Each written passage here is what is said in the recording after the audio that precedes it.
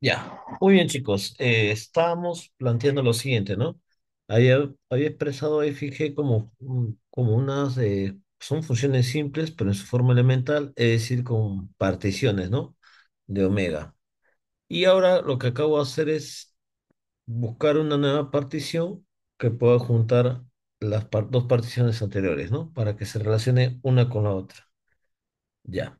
Entonces chicos, ya, vamos a hacer un truquito, ¿ya? Vamos a hacer un truquito. Ya. A ver. ¿Qué notamos? Notamos lo siguiente. Tú sabes que el uno lo puede escribir como la función indicadora de omega. Todo el omega es, eh, es como que si el W no está en omega, pero el omega es todo el conjunto, entonces sí, eso siempre va a ser uno.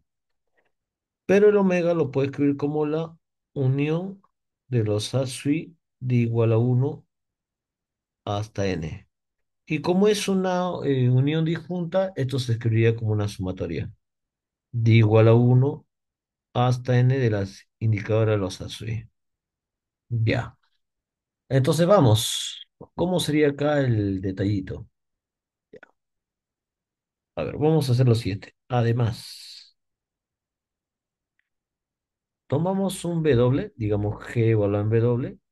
Según la definición, sería la sumatoria de J igual a uno hasta M de los B sub J por la indicadora de los B sub J.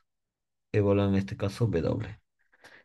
Ya, pero, pero, pero, pero, pero, acá justamente incorporo un uno, le multiplico por uno. Pero ese uno es la sumatoria de las funciones indicadoras de, de los ASUI. Entonces sería sumatoria de J igual a uno hasta M de los B sub J, de la indicadora los B sub J de omega, por esta expresión que es la sumatoria, de igual a uno hasta N el indicador de los ASUI. Ya está, chicos. Si ustedes multiplican, operan, al final esto es una doble sumatoria. Bueno, acá, sería el G de omega igual a quién? A la sumatoria de J igual a uno hasta M de la sumatoria de igual a uno hasta N de los B sub J por la indicadora de los A sub I interestado con los B sub J. Ahí está. Sería así, bueno, está evaluando omega, ¿no? Evaluando omega. Ya. Entonces, eh, ¿qué podemos hacer acá? Podemos definir acá la partición que estaba planteando acá, ¿no? En este, en en este detalle. Puedo definir el los siguientes conjuntos. Definimos los conjuntos, digamos, C sub J,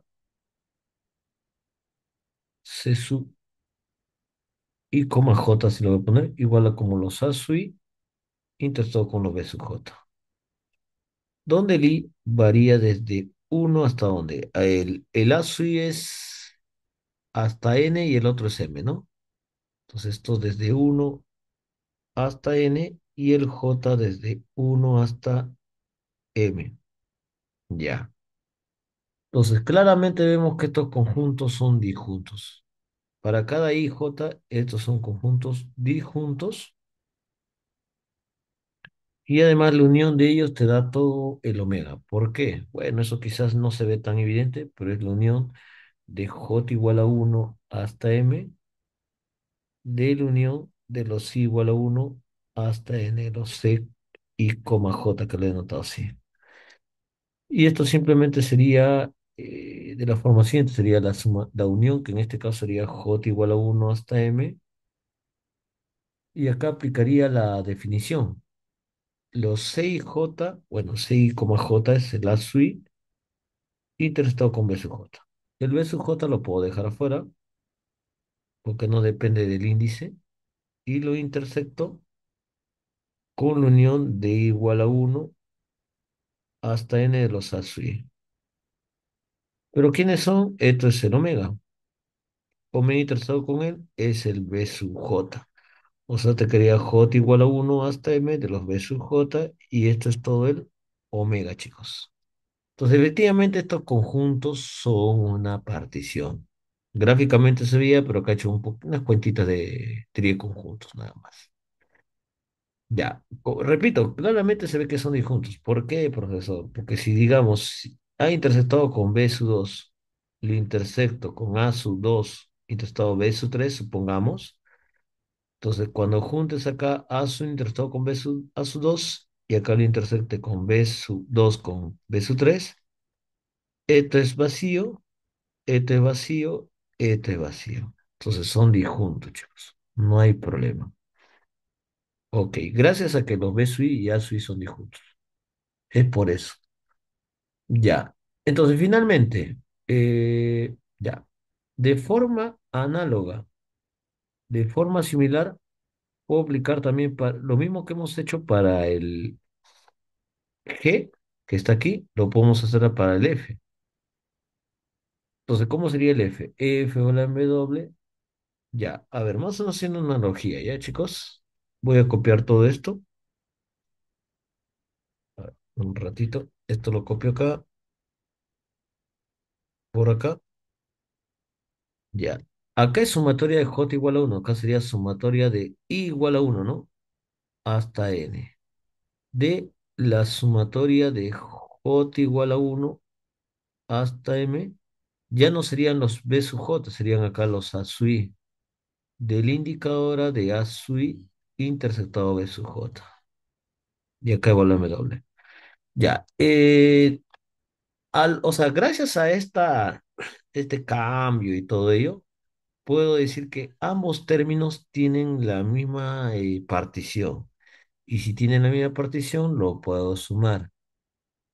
Y si sumamos, acá como son sumas finitas, se pueden conmutar las sumatorias, no hay problema. O sea, puedo escribir como la sumatoria de igual a uno hasta n de la sumatoria de j igual a uno hasta m de los a sub i más b sub j. Y acá la indicadora de a sub i interceptado con b sub j. Y ya pues, eso es lo que tenemos de la definición de función simple, que se escriba como la combinación de funciones, eh, funciones características. Uy, caramba. Ya. Entonces, esta es una función simple. Ya se terminaría. El ítem 2, ¿qué dice el ítem 2? Te piden también el producto. El producto. Ahora vamos a hacer una cuenta con el producto, ¿ya? ¿Cómo sería el producto? Ya, yo tengo acá la suma, el producto, ¿cómo podríamos manejarlo? Eh, a ver, el producto. Bueno, en la sumatoria se ve bonito, ¿no? La idea del producto, ¿cómo manejar eso? Mm, mm, mm. La idea es que esto lo puedes escribir en un solo índice también, ¿no? Si tú lo escribes en un solo índice, también se, puede manejar algo más simple. O sea, esa doble sumatoria escribirla en una s- sola sumatoria. Mm, ¿Cómo podríamos manejar ello?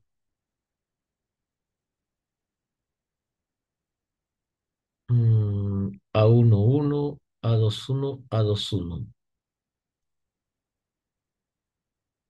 Ya, podría, podríamos manejarlo de esta forma, chicos, ¿ah? El f de w lo puede escribir como la sumatoria de i más j mayor o igual que uno y menor o igual que m más n. ¿Ok? Digamos, si i más j es igual a uno, eh, no, sería a partir del 2, ¿no? Del 2. Si es igual a uno, no puede ser el otro cero. A partir del 2. Si es 2, tendríamos el caso uno uno. Si es 3, tendríamos el caso dos uno y todos ellos. Y acá sería el ASUI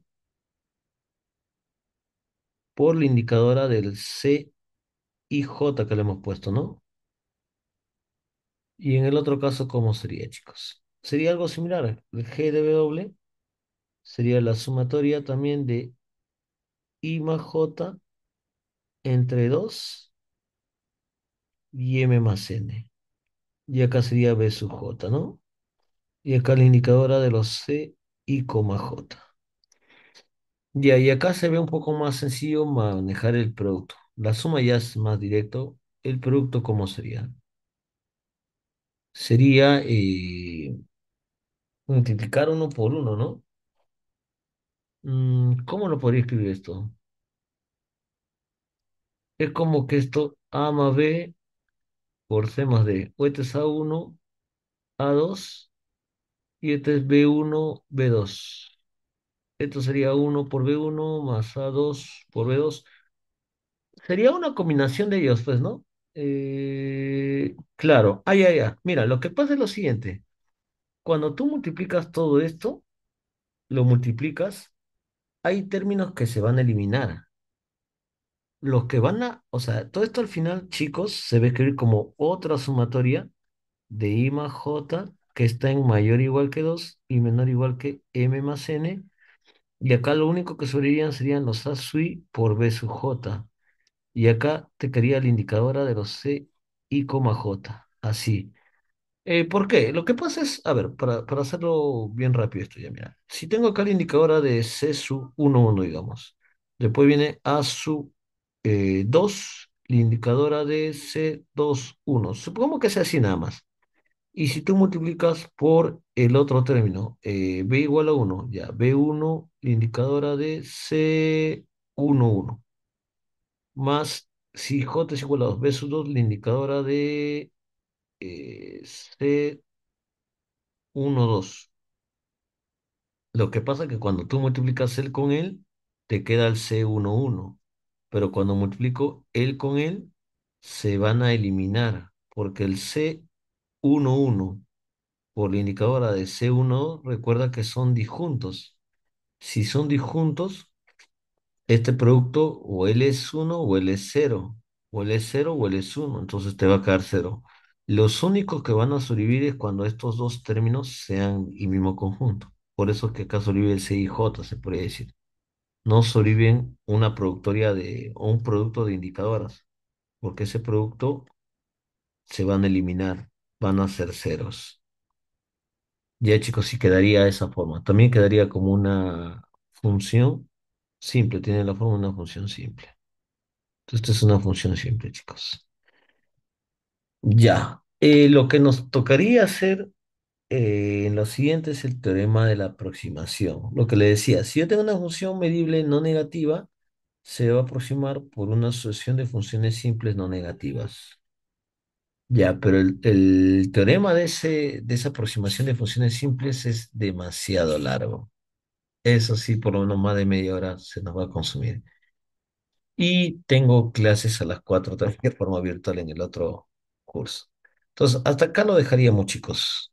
¿Ok? Profesor, ¿va a subir este, este documento que he escrito? Sí, dentro de un minuto lo subo. Mira, no se vayan, no se vayan. Voy a guardar este archivo. Ahora voy a poner acá clase. Ah, voy a detener la grabación para no